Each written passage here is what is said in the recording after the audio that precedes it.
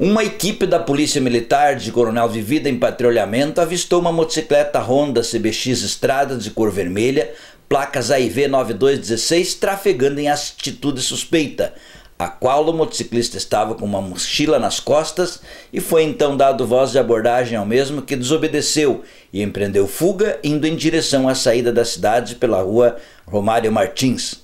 A equipe então realizou acompanhamento, mantendo distância segura da motocicleta e ao chegar no trevo de acesso à BR-373, o mesmo entrou na contramão, indo em direção ao posto Carretão.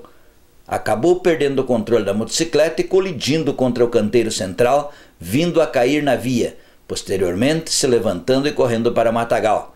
A equipe de imediato adentrou no Matagal e realizou a abordagem do mesmo, o qual estava deitado e reclamado de dor no braço. O revistado mesmo, porém nada de ilícito foi encontrado. Ao solicitar documentos, o mesmo não possuía nenhum documento de identificação e, em conversa com ele, a cada instante dizia um nome diferente, assim como também não sabia precisar a data de seu nascimento.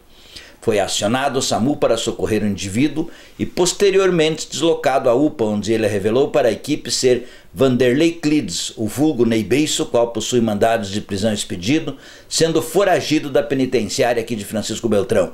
Foi então dado voz de prisão ao mesmo a motocicleta teve danos de média monta e ficou apreendida no pátio da terceira companhia da Polícia Militar. O Ney Beiço foi conduzido para a delegacia de Pato Branco, onde ficará à disposição da Justiça.